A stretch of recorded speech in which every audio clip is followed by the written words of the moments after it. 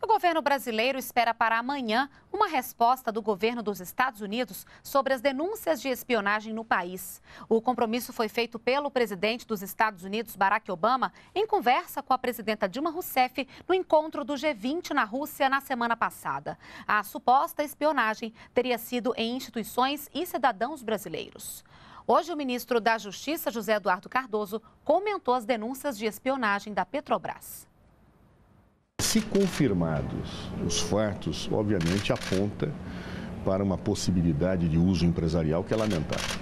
O governo americano sempre negou essa, essa utilização. Eu próprio, quando estive com o vice-presidente norte-americano Joe Biden, eh, tive da palavra dele de que os Estados Unidos não usavam é, em momento algum, a interceptação para finalidades empresariais. Por isso, a nossa, o nosso desejo de, o mais rapidamente possível, termos uma explicação efetiva do governo norte-americano em relação ao que foi feito e por que foi feito.